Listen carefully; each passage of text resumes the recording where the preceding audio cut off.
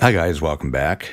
In this video, I'm going to very quickly show a little hack for managing like kick samples, clap samples, hat samples, all your one-shot samples. And well, actually, about a month ago or two months ago, I can't remember, one of my subscribers left a message or posted a message saying that you can use Drum Machine Designer to manage your one-shots or something to that effect. I don't even recall where the message was or what video it was on.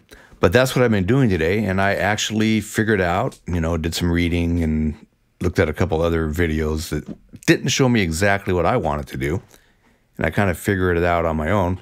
So I'm going to import some kicks. I'm going to make a kick bank.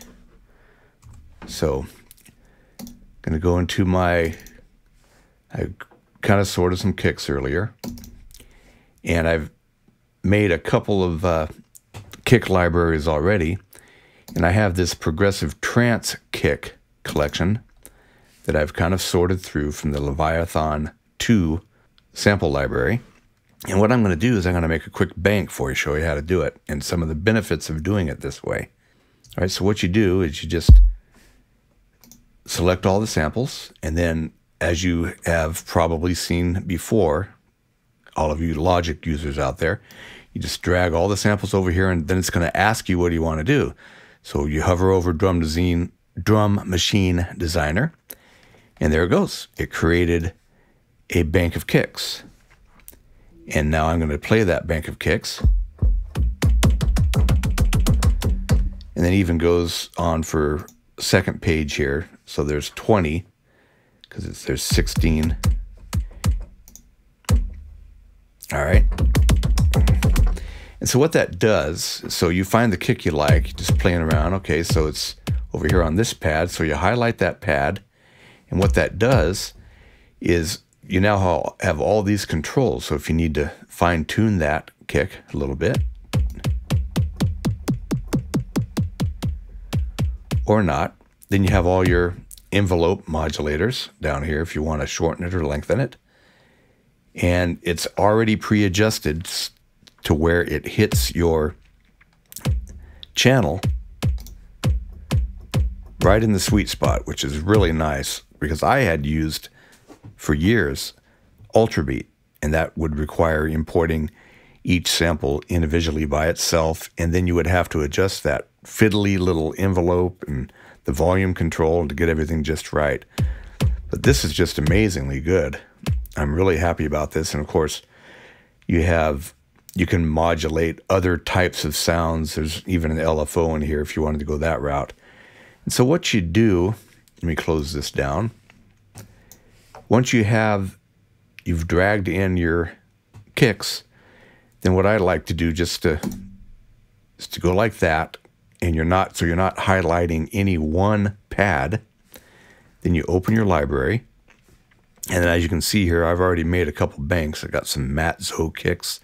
I've got some Proggy kicks.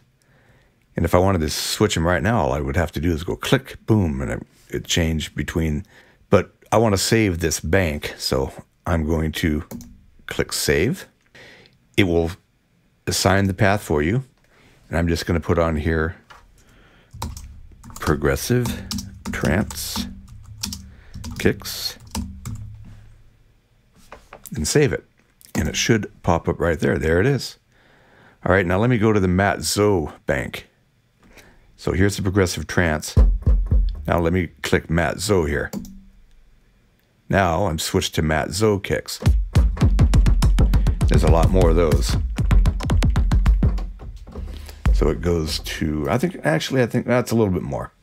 It goes two pages and then what it does and how it allows you to adjust each individual one shot independently is that it makes all of these little channels here.